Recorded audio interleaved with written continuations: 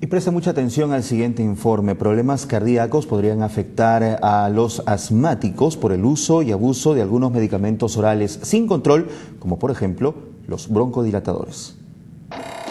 El cambio brusco del clima en nuestro país conlleva a las personas a contraer un resfrío común que podría derivar en un asma bronquial.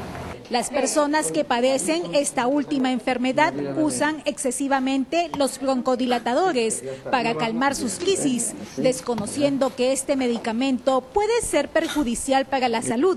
Así lo aseguró el doctor Carlos Inostroza, director del Centro de Asma y Alergia.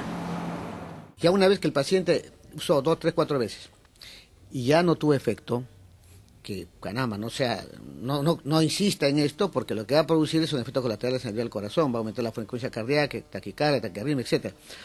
Entonces, lo que tendría que ocurrir un centro médico para desinflamar los bronquios, fluidificar la flema, para que los, las vías de estén libres.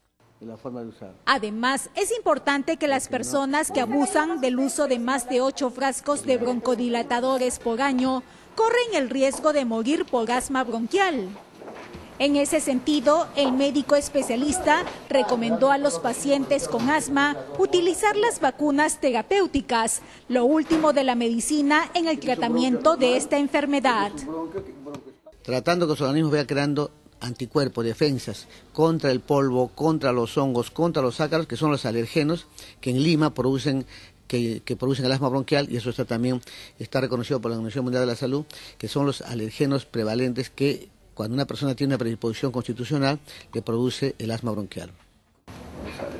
El doctor Carlos Inostroza agregó que los pacientes con asma deben de hacer un buen uso de los broncodilatadores y seguir las indicaciones al pie de la letra del médico tratante.